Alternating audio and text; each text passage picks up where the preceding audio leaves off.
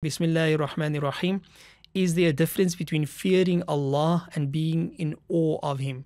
Is there a difference between fearing Allah and being in awe of Him? Um, in Islam, there are various words, or rather, I should say, in Arabic, there are various words that demonstrate what we would translate as fear. In the English translation of these words, you are going to find one word, and that's fear. The problem with translation is that in every language, a particular word has nuances of meaning. And when you translate from one language to the next, while you while you capture some of the nuances from one language to another, you can never truly capture all of the nuances of meaning. So, for example, in Arabic, the words khawf, khashiyah, right, and taqwa are, um, translated, frequently translated as the same thing, the fear of Allah.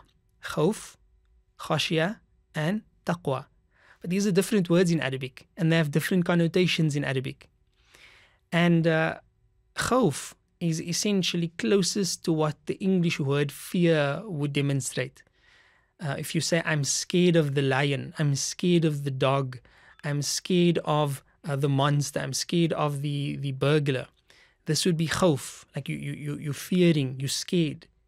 Whereas khashya is is more closely related to being in awe of Allah and what it really what it really encapsulates like why would a person be in awe of Allah and the answer is because they because they know Allah because they understand Allah how do they understand Allah إنما يخشى الله من عباده العلماء those who have khashya of Allah from among his servants are the ulama, the scholars. Why?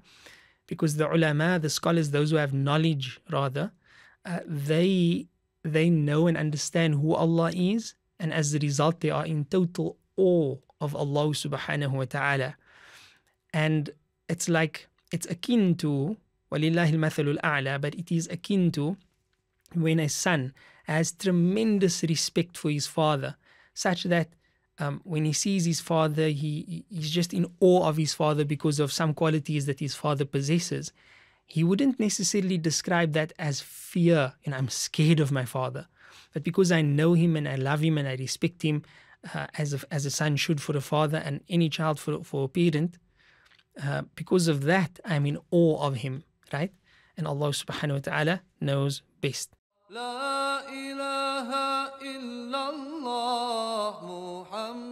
Resulullah.